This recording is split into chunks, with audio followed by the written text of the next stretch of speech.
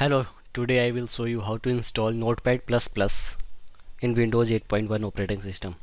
Open uh, Google Chrome and type Notepad++. Go to the Notepad++ and then here you can click on download button and click on the download.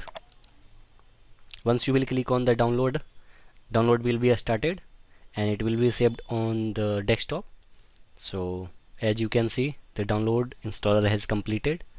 So now I will go to the desktop and I will install it from here. So double click on it. You will it will ask you for the permission user account control. Then click on yes. Okay. Next. Agree. Next. Next. Install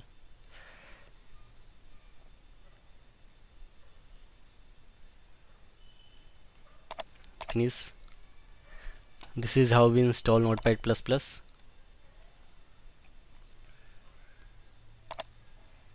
okay.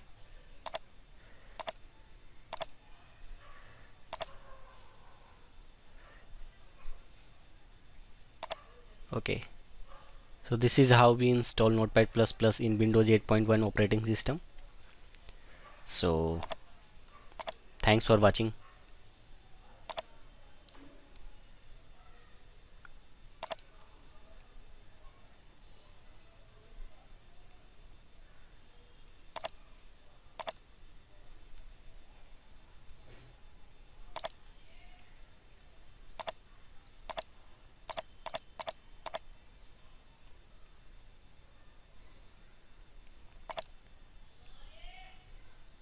enjoy